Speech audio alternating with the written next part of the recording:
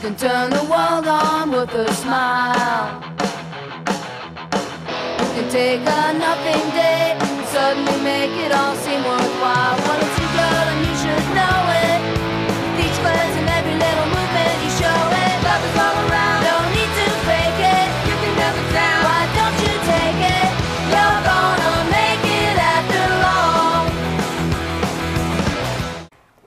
Everyone. Welcome to the show. Today is Thursday, April 4th, and Marc has 460 days left to go in his prison sentence. Unless he gets his transfer application, then he could be home right before Christmas.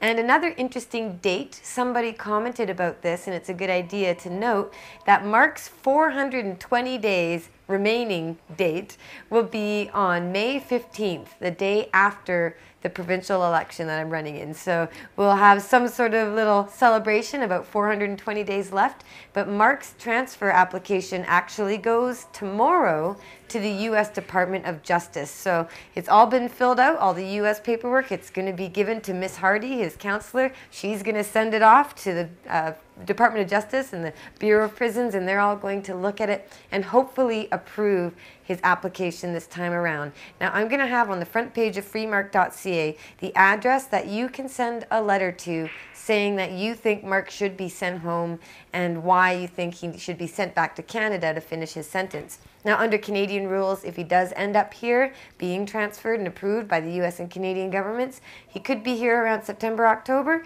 but it would still take some time probably to get him out on parole. We're still figuring out those details, but it's better than July next year, which is the latest point that we have to look to. So we're just happy about him coming home sometime soon, and there are a lot of people out there who are only beginning their prison sentences or who are just facing court and who are only partway through 25 year pot prison sentences. So we have a lot to be grateful for, and we definitely are.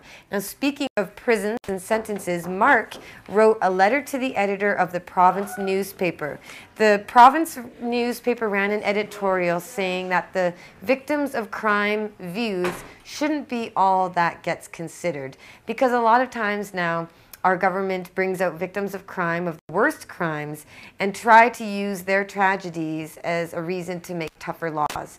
We know that that's not working. We know that you shouldn't take people who want vengeance and give them the lawmaking abilities because they just are they're hurt, they're upset. So Marc wrote a great letter and you can see it here on the screen and it's also available to look at at cannabisculture.com and it's call for law reforms.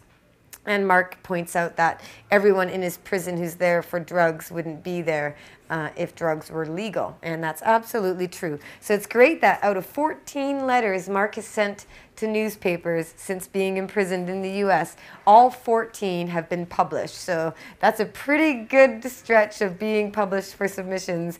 And it's great that he's able to get his message out there while he's behind bars. Now, I was telling you all in my show last week about an upcoming campaign event. My first campaign event in my riding. Uh, this is the little flyer that we had made, and this is a two sided handout that we were giving out. And it's for my election campaign with the BC Green Party. I'm running in the provincial election, which uh, is vote. We all vote on May 14th, and I'm running with the Green Party again because they believe in ending prohibition, but they also believe in a lot of other great ideas that have been core principles for many years of the 30-year history it's been around.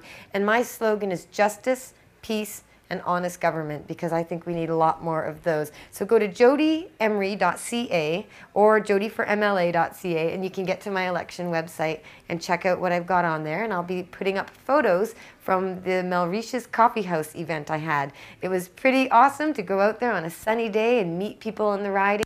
A lot of interest in the issues and a lot of ideas shared with me from people in the riding. And you out there, anywhere in the world, can donate to my election campaign. If you'd like to make more flyers like this and you'd like to contribute to getting buttons and other campaign materials made for my message, uh, you can contribute from anywhere in the world and go to jodieemery.ca and the donate page will tell you more. So thank you to those of you who are donating to my campaign to help make that happen and help get a strong end prohibition voice into this provincial election.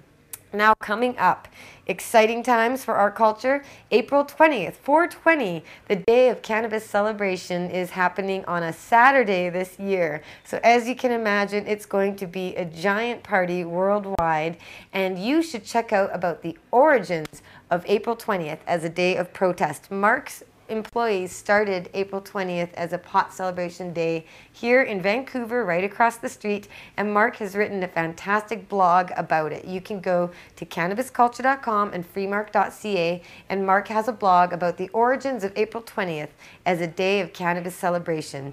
And of course, we know 420, the number, has been around for quite a while. But April 20th as a day of smokeouts and celebrations uh, pretty much started here. And you can read his blog to check that out. So that's the latest blog from Marc is at cannabisculture.com and freemarc.ca. Now you can check out about Vancouver's 420 event by going to 420vancouver.com. And if you're anywhere in Canada and you want to hold a rally or you want to find a rally near you, go to 420rally.ca. And that's been generously organized and sponsored by Bob Erb, the millionaire lottery winner, marijuana activist, former BC Marijuana Party candidate. He has been organizing and supporting activists across Canada with the Herb for Herb, because his name is ERB Herb, if you can believe it. He is sponsoring all this, and you can find out more at 420rally.ca. So that's exciting coming up soon. And I've got some other exciting news as well. Last minute phone call. Uh, I was just speaking with the Trailer Park Boys, producers and people involved in their team, and I had heard about this a while ago, but I've been offered to play a role as uh, Jodie Emery in this Trailer Park Boys 3 feature film.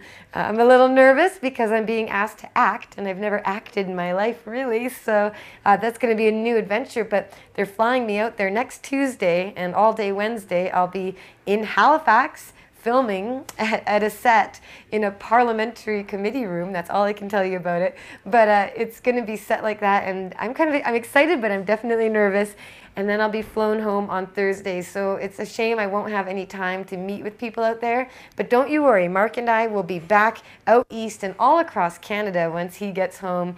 But uh, I won't be doing a show next week because of this. So I'll be flying home from one side of the country to the other on Thursday, and then the following Friday I go down to visit Marc. So next week there will not be a Jodie Emery show, uh, but you can still enter for the next two weeks for the t-shirt draw. We have the free mark, as always, free Marc Emery prize pack with the t-shirt and the stickers and the pin. So you get the four free Marc stickers, you get the free Marc Emery pin, and you also get the free Marc Emery t-shirt. And we have these in women's and men's sizes and shapes. So we'll get you what you need. Send an email to Jodie at cannabisculture.com. And it's also helpful if you include your shirt size in that email. And I'll enter you in the draw two weeks from now, where I'll put you in the big bubble bag and pick the winners. So this week's winner is going to be David D. I'm going to send you a message and let you know that you are the winner of the prize pack. And again, you can enter over the next two weeks. I'll even accept double entries just because there's two weeks in there. So you can enter once in each week for the draw, and I'll do that when I get back. So thanks a lot for tuning in. Sorry I'll be missing next week, but you can stay updated with everything that's going on at cannabisculture.com, pot.tv, freemarc.ca, jodieformla.ca, and I could go on and on, but links are below. You know the routine, and we really appreciate your guys' support making cannabisculture.com the number one weed website in the world right now, thanks to our viewers. So you guys are awesome. Check it out share the stories, and send us an article or two if you've got something you want the world to see on cannabisculture.com.